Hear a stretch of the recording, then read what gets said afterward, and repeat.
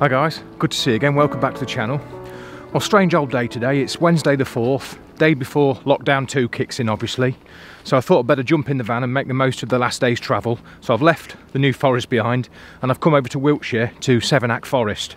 Hopefully for last minute or last opportunity for any autumn colour, really. Hopefully I'll be able to keep going in the New Forest. It's within walking distance, so uh, that's the plan anyway, but we'll see how the land lies with this lockdown. But uh, yeah, so last opportunity to get some autumn colour really. So I've come over to Savernake. There's a lovely Grand Avenue in here, or Beech Avenue, so fingers crossed there's still some colour. As you can see, it's bright sunny day, so not great for woodland photography. I'm just following a deer track at the minute because I've come off the main drive because uh, obviously this sunshine's brought out quite a few walkers and I can't blame them. Beautiful day for a forest walk, but yeah, so I'm just following this deer track at the minute. I'm heading for one of the named oaks, hopefully. Hopefully going to have some more luck or better luck than I had last time I was here. I came specifically for the named oaks and didn't do my research properly, so I never found some, some, some of the nice, nicer ones. So I've come to a different area of the forest today, so fingers crossed we're going to bump into one in a minute. So yeah, named oak first, and then hopefully the Grand Avenue still got some colour in it because we've had quite a lot of strong winds last sort of week, 10 days, and it has stripped quite a few few leaves off the trees, but there's still some nice colour here, so fingers crossed the Beech Avenue's still looking nice and we can get a nice composition. So let's go and see what we can find.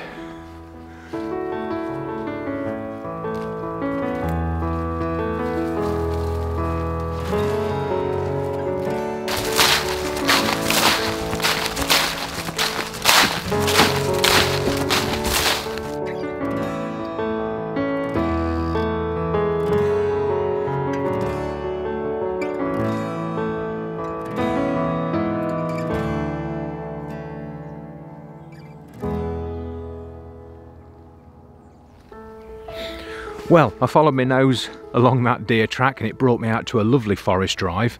And we've got five or six beech trees along this drive and it's lovely and sidelit. The sun's to my left so we've got some lovely shadows and some lovely high tone areas coming making their way across the drive which is making a lovely frame. I shot it on the 16 to 35 at first uh, at 35 mil because there's quite a few gaps in the canopy so there's obviously a lot of blue sky coming through. So I went to 35 mil in landscape orientation just to eliminate most of the blue sky. Um, had the variable polarizer on so I've really brought some lovely depth in the colour out and it worked really well at 35 mil. But then I thought I'll get the 70 to 200 out and just zoom in a bit. So I zoomed into about 120 mil just just to really just to really emphasize the tunnel you know the tunnel effect to lead your eye off to those there's three beech trees at the end of the the drive that are really nicely well lit. So they draw your eye down the down the composition. So really nice. Say I've, I've had the variable polarizer on, both the 16 to 35 and the 70 to 200 I'm shooting at f10 this was a 60th of a second. I think on the 35 mil it was at a hundredth of a second. So uh, really pleased. I'm followed. I'm, I'm, pleased I followed my nose along that deer track, and it brought me out here. Still not found an oak, but uh, that's the that's the next challenge, I think. So anyway, I'll pop a couple of images up now, guys, and I hope you like them.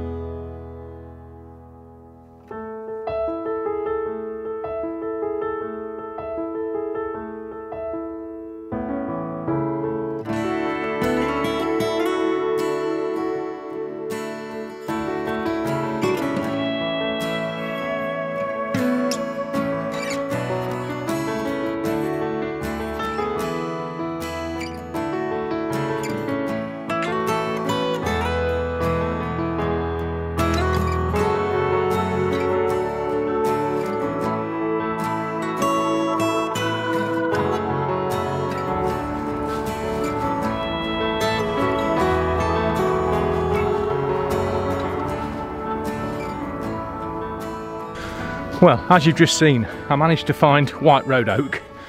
Tremendous looking oak, but the conditions are just so against me at the minute. I walked round and round it trying to look for a composition to try and work with the light, but uh, just couldn't escape the blue skies or anything. But uh, so I called it a day, and uh, I have just hot-footed over to another oak called Cathedral Oak, and uh, the girth on that is absolutely ginormous. It's by far the biggest oak tree I've ever seen. But it's surrounded by chain link fence. It's right on the edge of the plantation. So uh, there's buildings behind it. Again, a nice foggy misty morning. You might be able to make a nice composition of it. But uh, so that's two oaks found. I did take a couple of frames of white road oak. So, uh, but I'll just put them up just to show you really. They're uh, nothing to write home about, but I'm going to pop them up now guys and I'm going to make my way over to Grand Avenue see if we can get some some nice light through the beech avenue there through the beech trees because we are losing the light. It's about half past two now so before long the light will be going. So I'm going to hot foot it over there and I'll pop the images up now of White Road Oak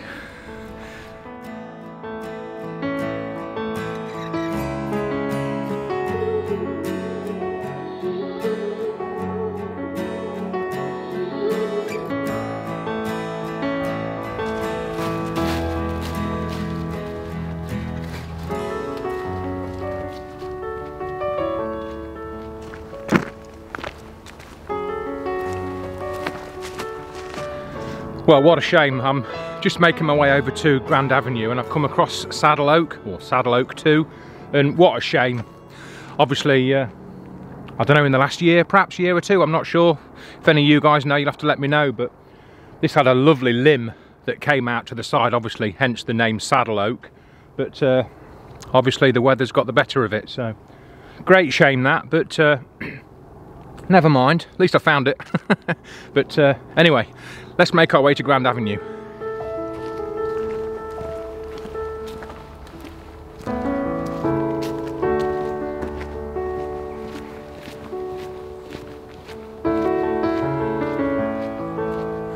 Well, we've made it onto Grand Avenue and uh, I did get a little bit worried because on the walk over here the sun's kept going behind the clouds like it has done now but I think with a bit of waiting should get some nice light. In fact, look at that light now. I don't know if you'll be able to see, but wow, right at the end there. I'm behind me now. There's light both ends of the Grand Avenue, but the taller beech trees are towards the other end, so that's where I'm heading for. But uh, also, I just want to say a massive thank you to everyone who's bought me a coffee after Sunday's video.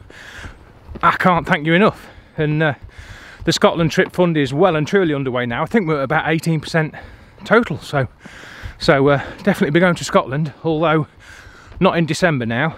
Obviously, I scheduled that video before it came out, before we learnt about the uh, the lockdown on Saturday. So, all being well, either be in December or uh, or in January, depending on how lockdown goes. But yeah, thanks ever so much, guys, for buying me a coffee. Really appreciate it.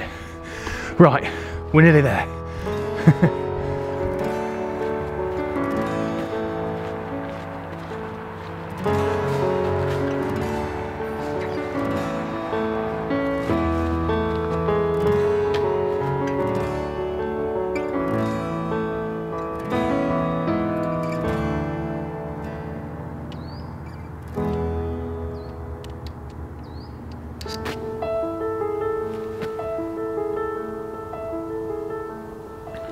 Well, so as soon as I got here, there were some cars parked here and they've just moved. So I've quickly got set up and the sun has, oh, the light is tremendous. I'm just firing away here.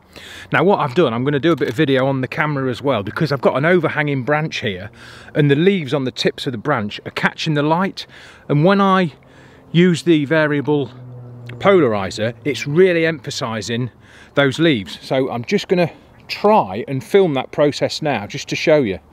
Let's have a look. Right, so I'm, I'm filming on this camera now, so I'm just going to turn turn the polarizer and you can see that branch disappear into the blue sky and then if I keep turning it really does bring that branch out into that into that nice shaded area and then what I've done I'll just stop recording on that what I've done I've done I'm going to bracket this so I've focused on those those leaves in the foreground here in the upper foreground and then I focused halfway down my composition and then I'll what I'll do is I'll just blend them leaves into the the, the main frame and uh, fingers crossed it should look nice. The colours are lovely the leaves are I mean they've lost a lot of leaves now in that wind.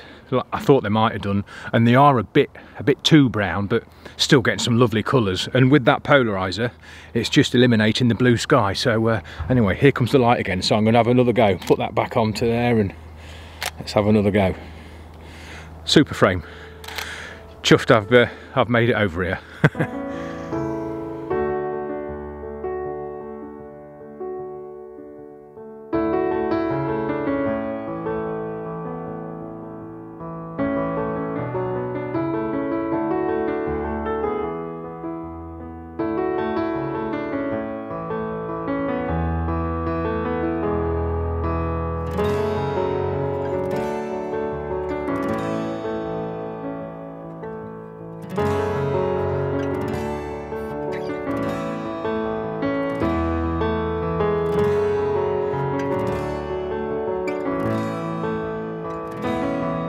Well, the light stayed really good, so I've just filled my boots, loads of different angles, put the 70 to 200 on, got some nice tight tight frames, so uh, some absolutely fantastic light, as you've just seen.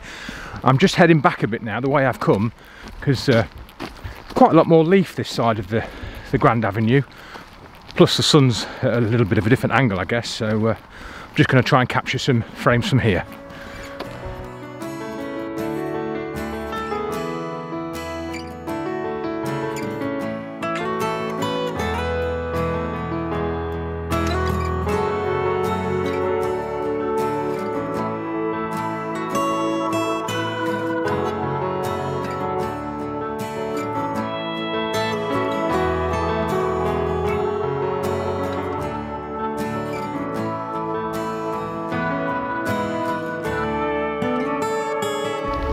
Well that's it now, the sunset over the horizon behind the forest so that glorious light has finished. But that was certainly a mad half hour, three quarts making the most of that great light. But uh, really chuffed with them frames anyway. It was uh, just what I'd hoped for so so brilliant. Good way to end the day really. So chuffed that I made the decision to come over to Savernake. So uh, yeah lockdown wise I say I can walk into the forest so hopefully I'll still be able to make a few videos in the forest. But uh, there might be one or two editing videos from the office but we'll see see how see how the lockdown goes. But I uh, hope you guys are all all right through lockdown anyway and uh, yeah jobs are good in drop us a comment below guys. It's always great to hear from you and I'll get back to you as soon as I can. Let me know what you're up to and uh, if you could remember to hit the like button that'd be much appreciated. Best way to help the channel by giving it a like giving the video a like and uh, subscribe if you haven't. And yeah thanks again to the guys for buying me a coffee really appreciate that. Scotland trip is well and truly on the way now. Obviously probably in december now but anyway. Good things come to those who wait. So uh, yeah brilliant. Thanks guys. Really appreciate all your support. And uh, brilliant. Jobs are good and thanks ever so much for watching guys. Take care. Catch up soon